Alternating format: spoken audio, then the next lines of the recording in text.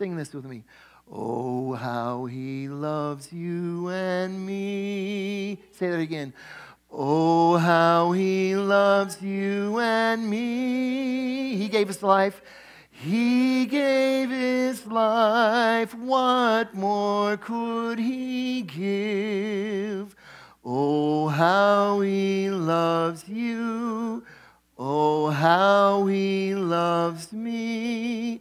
Oh, how he loves you and me. You know he does. He loves you so much that he died for you. We still have no anything, so open your Bibles. There's no shortcuts this morning to Mark chapter 1.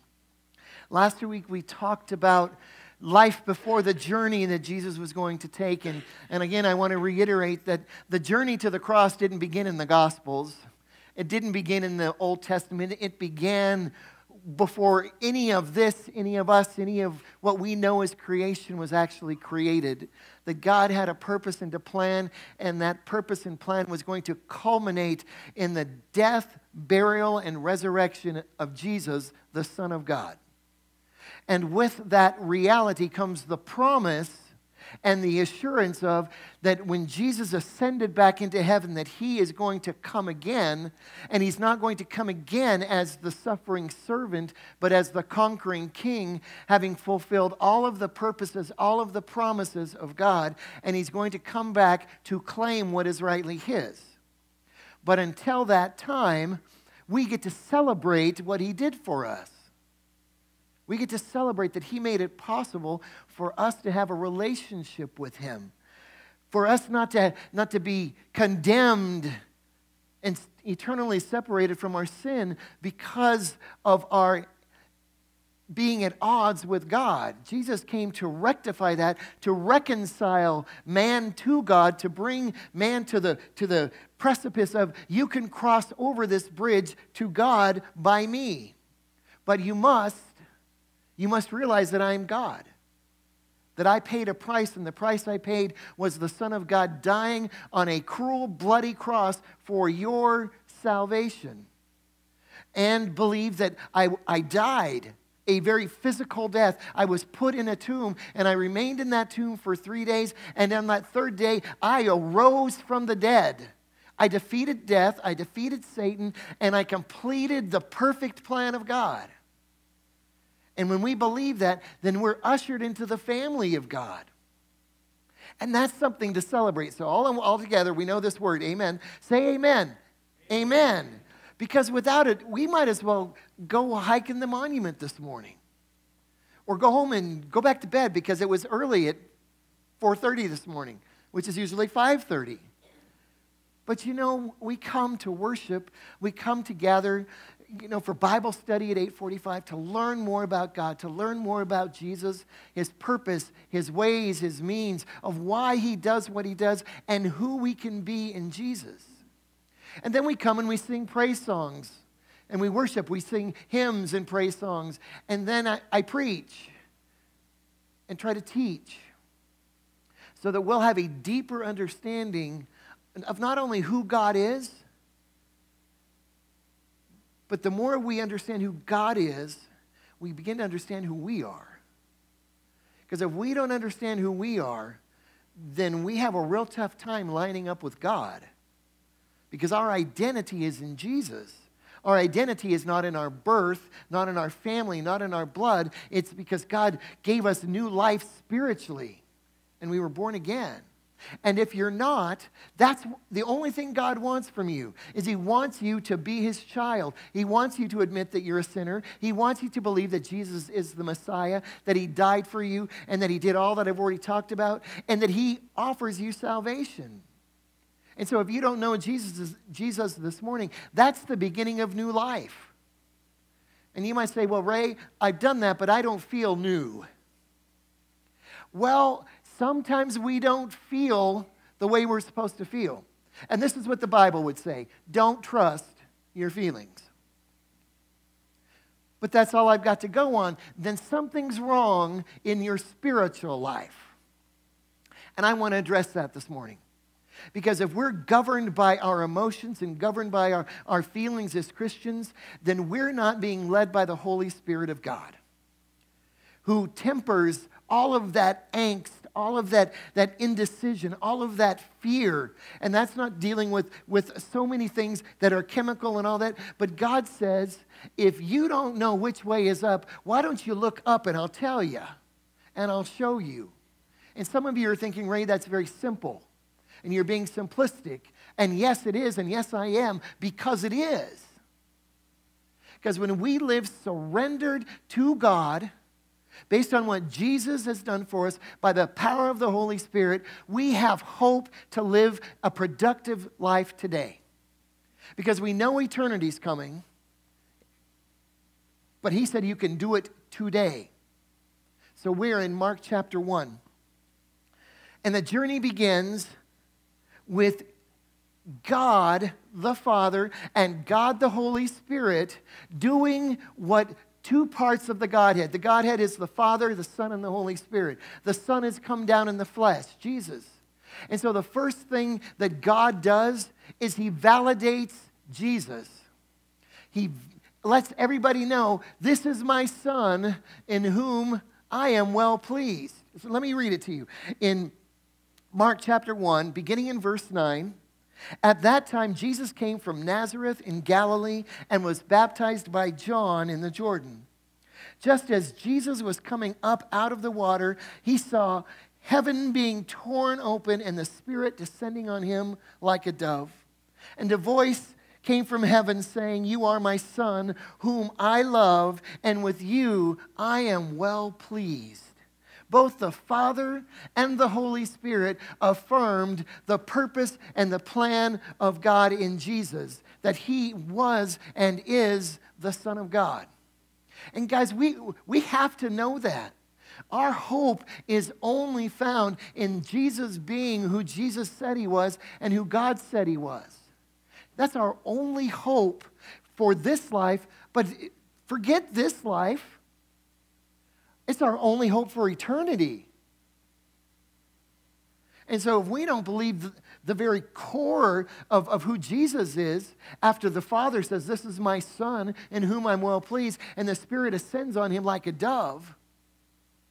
So, it's affirming, it's validating that Jesus is that purpose, is that plan, is God.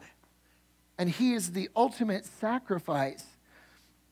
In verse 12 of Mark chapter 1, I, this is my son in whom, uh, I, who I'm well pleased, in verse 12. At once, the Spirit sent him out into the wilderness, and he was in the wilderness 40 days being tempted by Satan. He was with wild animals, and angels attended to him. He was validated the moment he got out of that water. He went and he began to be validated and fought a battle with Satan by the power of the Holy Spirit as he was tempted, as he was hungry, as he was tired during a 40 day assault, he was validated as being who he was. That was God's purpose. That was God's plan. Physically, he was on a hunger, hunger strike. Not intentionally, probably. He didn't eat for 40 days. So physically, he, he surrendered himself. Emotionally, he was alone. There were no apostles. There were no disciples at this point. Jesus was alone in the wilderness with God, the Father, and God, the Holy Spirit, and Satan tempting him. And guess what? He won. That shouldn't be a shock to us. But you know, it was more than all that, it was a spiritual validation, it was a spiritual victory. He didn't give in to the temptation. And Scripture says he was tempted every way in which man is tempted. And Jesus didn't give in. And you're going, yeah, he's God. Yeah, he was, he's God. But he's also 100% you and I. Anybody not sin this morning? Keep your hands down and we're going to have a chat. we all, because we all fall short of God's glory. Jesus didn't. Even when he was hungry, thirsty, and exhausted. So he was, he was validated at, at the baptism. He was validated as, as he began his first challenge, his first trial, if you will, out in the, out in the wilderness, all by himself. Him, never by himself because he's kind of like us. The Holy Spirit was with him every step of the way, just like he is with us.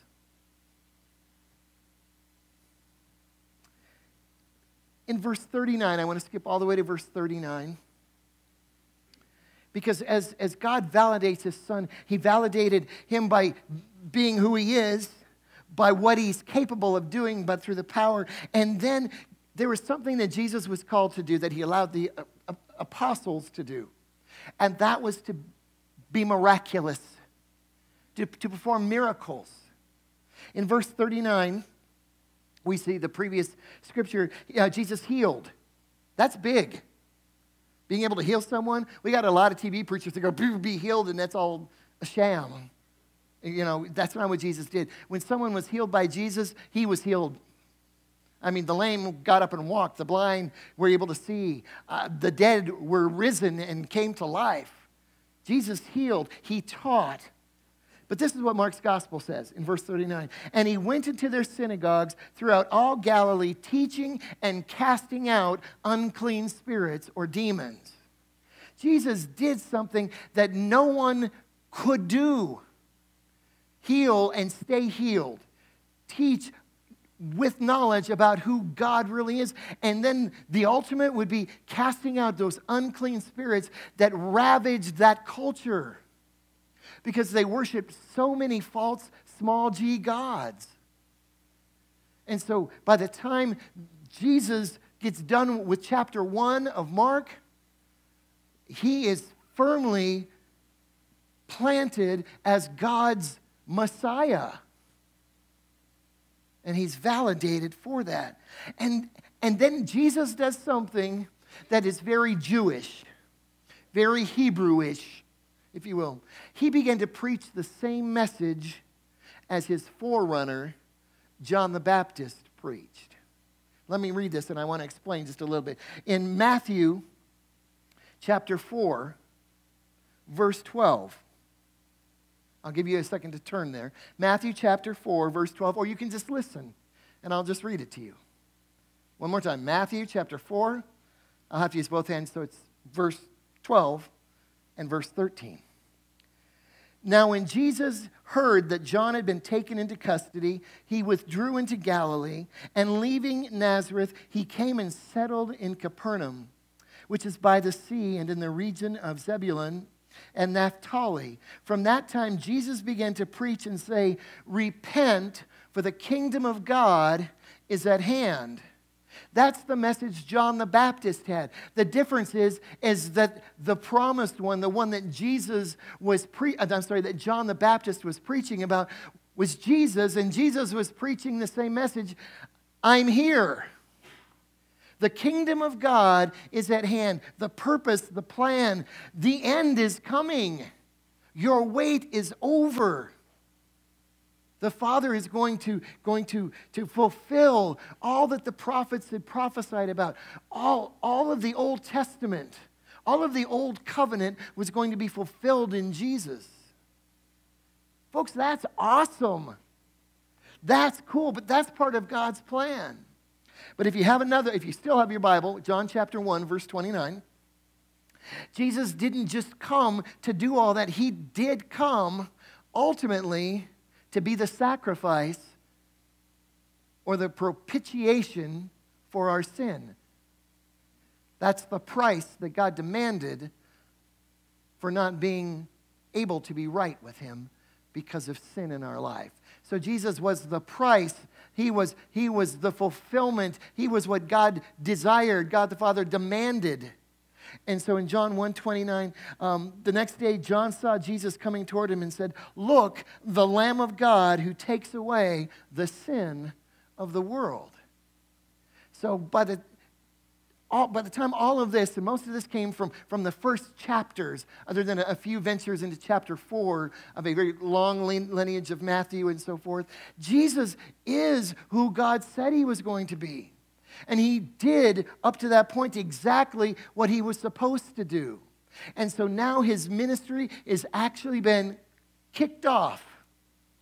and he's going to begin. He's been affirmed, he's been validated,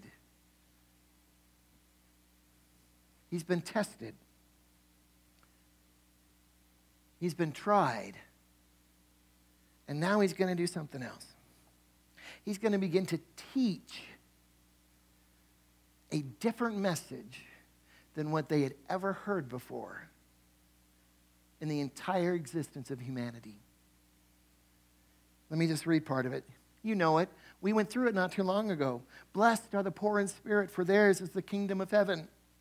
Blessed are those who mourn, for they shall be comforted. Blessed are those who are gentle, for they shall inherit the earth. Blessed are those who hunger and thirst for righteousness, for they shall be satisfied. And so on and so forth. He began to say, Guess what? All that you know about life, all that your parents taught you about, you are the center of the universe, that all, all life revolves around us as being Hebrew, that life, all of life revolves around what I want and what you want. Guess what? That's never been the purpose and plan of God. Because blessed are the meek, for they shall inherit the earth. And people were like, What on earth is this guy talking about? We've never heard such a thing. You know, we go, Yeah, we've known that since we were kids. They had never heard that before. Never. And so Jesus came to teach them about what real life was all about. And that that was the beginning of him vocally and, and visually shaping the world that he impacted and that he lived in. He began to teach about life and teach about death. And in John 10 10, you don't have to turn to, you know, I'm not going to ask you to turn anymore. I'm just going to read these to you. John 10 10, he talks about the abundant life.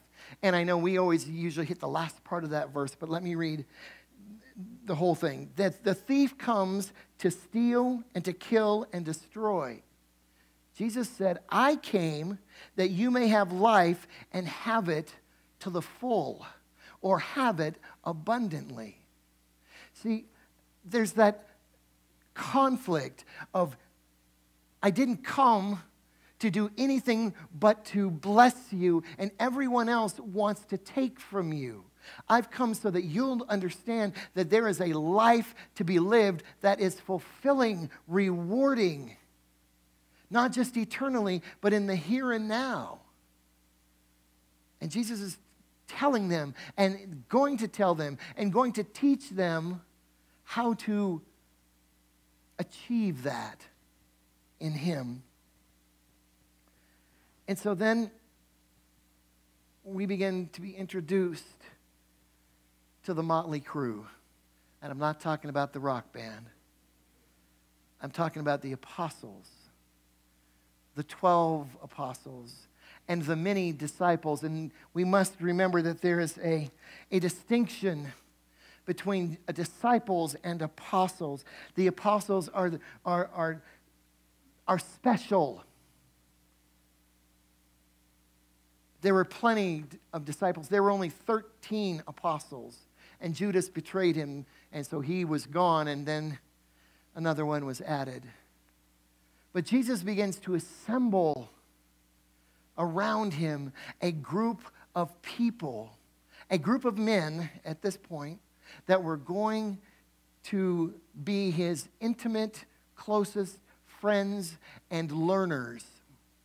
And he was going to teach them the ways of God. See, most of them were already pretty knowledgeable about the Old Testament. They knew about the sacrifices and the rituals and, and all that God had demanded. But Jesus was going to teach them that the blessed are the meek and those that hunger and thirst for righteousness. And he was going to teach Peter and Andrew and James and John and all of those men how to how to live life differently and then teach people how to do it too.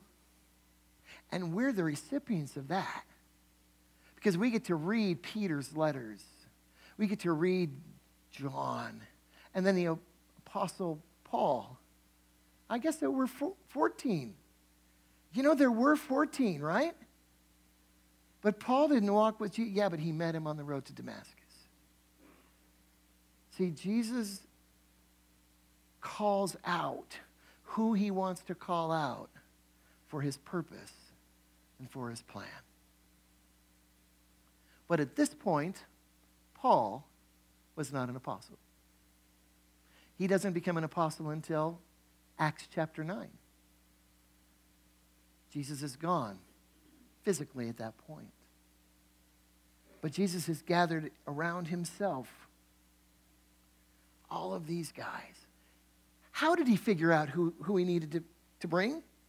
How, how did he know to walk down, this, down the shore the, of the Sea of Galilee and call Peter and, and, and, and, and James and John and, and go, you know, they're, they're fishermen by trade and they're, they're tending their nets and they're doing what f- stinky fishermen do.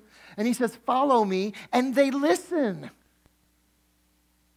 They give up all that they've ever known, all they ever worked for, because this guy walked down the shore and said, Follow me. That's crazy. Right? See, we, we go, No, it's not, because they became, but yes, it is but it's not. Because God's more powerful than what we think, what we know, what we believe, and what we understand. And if you don't think, and we don't think that God had planned in advance, advance and prepared everybody for what was coming, then we just don't understand God clear enough. Because only God could do that with a guy like Peter. Because Peter knew everything. Just ask him, he would tell you. He knew about supersonic jets and they hadn't even been made yet. I kid. You didn't believe it, no. So he took he, took the common, the normal, but how did he choose them? I want to read something to you. In Luke chapter 6, again, you don't have to turn there. Again, Luke and, and Matthew are a little bit longer in their their genealogy and in their, their storytelling. But in verse 6, in verse 12 of chapter 6, at this time, Jesus went off to the mountain to pray, and he spent the whole night in prayer to God. And when he came down from that meeting with the Father on the mountain, he chose 12 disciples. And he began what we would know as his earthly ministry. Matter of fact, let me jump to that because he chose a circle of companions. And he chose them well. Let me just continue on with Luke chapter 6, verse 13. And when that day came, he called his disciples to him and chose 12 of them, whom he also named apostles. So, you, again, you've got the disciples. All of those who were called into salvation are called, we're all called to be disciples. Surprised? Amen. but he called the, everyone to be disciples, including the apostles, but he called the apostles to be apostle disciples. Make sense? Good. It should. So, um, actually, let, let me read them to you. Can I, can I give you their names? Let's see if we remember them all. I, I learned a song when I was like seven. And that's really the only way because my mind just thinks of everything in song and music. Weird, I know. And when day came, he called his disciples to him. Oh, and by the way, this is, let me just read it in context. It was at this time he went off to the mountain to pray, and he spent the whole night in prayer to God. And when day came, he called his disciples to him and chose 12 of them, whom he also named as apostles Simon, who he also named Peter, and Andrew, his brother, and James and John, and Philip and Bartholomew, and Matthew and Thomas, and James the son of Alphaeus, and Simon, who was called the Zealot, Judas the son of James, and Judas Iscariot, who became a traitor. Those are the guys that he called out of all of those that, that began following him. The word apostle means the sent ones. And that's where these guys are going to go to all different places. And then all of a sudden, Jesus' purpose and his itinerary became that of the apostles. Let me just finish reading that, that section of verse, in, um, beginning in verse 17 of Luke chapter 6. Jesus came down with them and stood on a level place, and there was a large crowd of his disciples and a great throng of people from all Judea and Jerusalem and the coastal region of Tyre and Sidon who had come to hear him and be healed of their diseases, and those who were troubled with unclean spirits, they were being healed and cured. And all the people were trying to touch him, for power was coming from him and healing them all. We get this picture of this great throng of people, and there's Jesus, and he's, he's surrounded or flanked by his disciples and the 12 apostles, and people are coming, and they have such great need, and Jesus is meeting every single one of those needs. And Peter's going, and I'm embellishing, wow, this is who I'm following. Look at what he's doing. And James going, unbelievable. As person after person is healed of their affliction.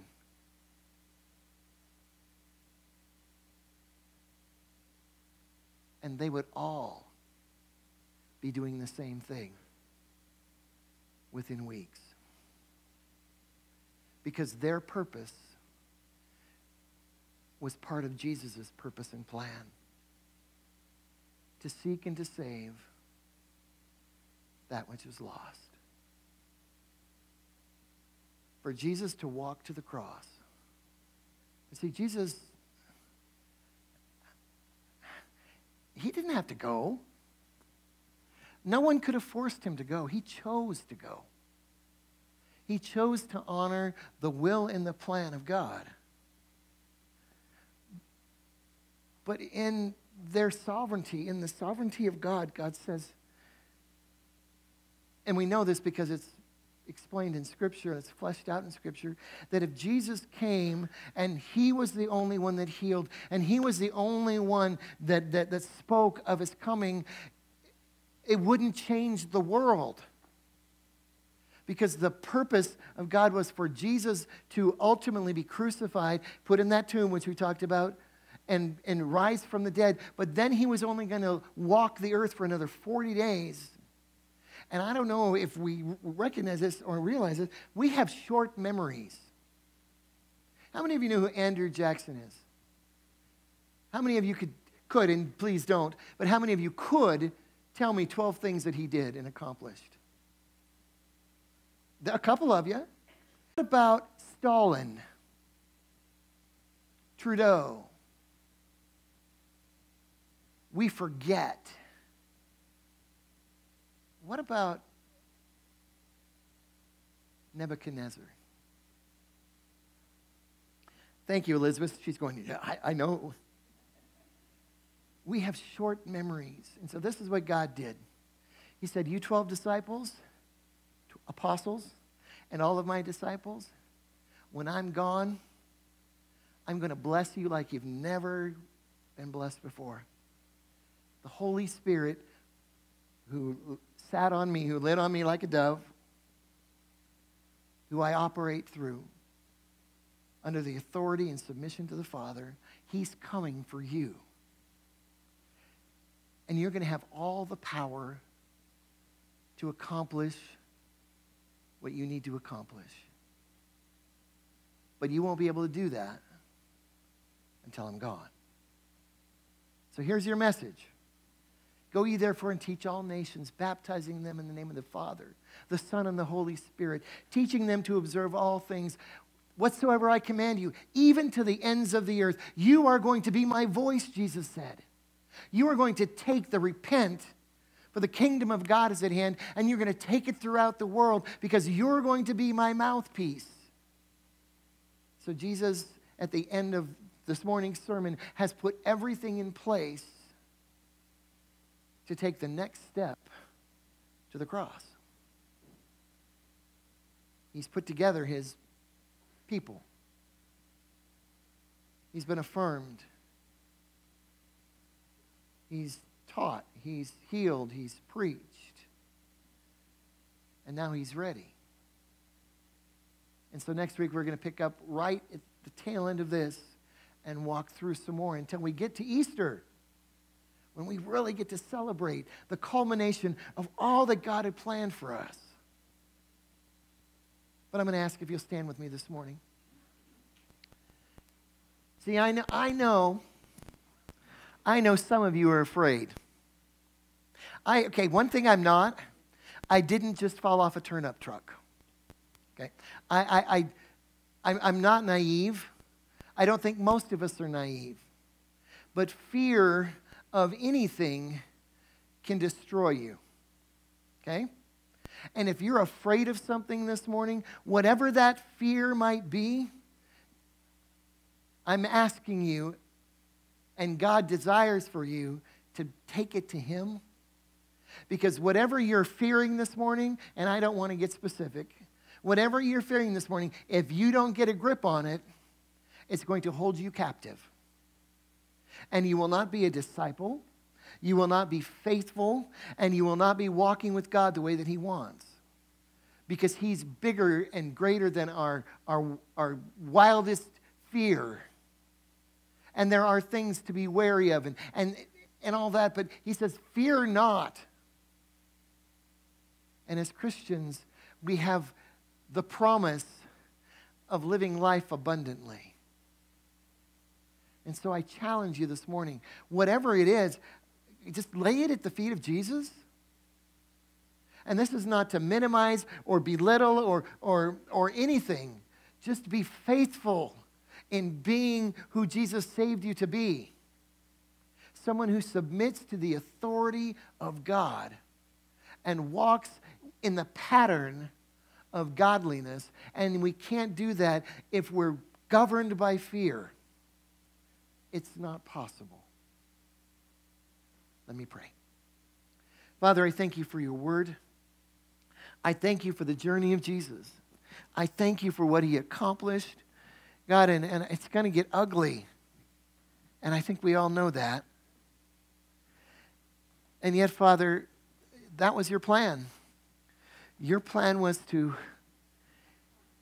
to make it possible for us to, to be reconciled and made right with, you, right with you.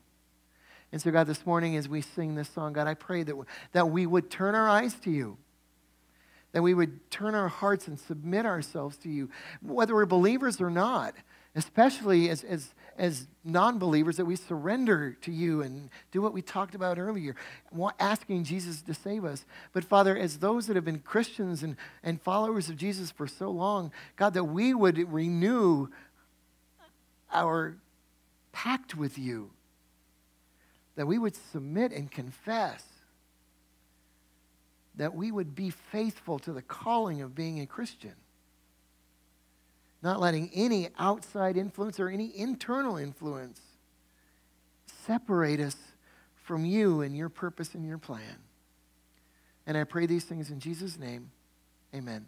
So we're going to sing a song, Just As I Am. Oh, that's an easy one. Is it done yet? we're going to sing.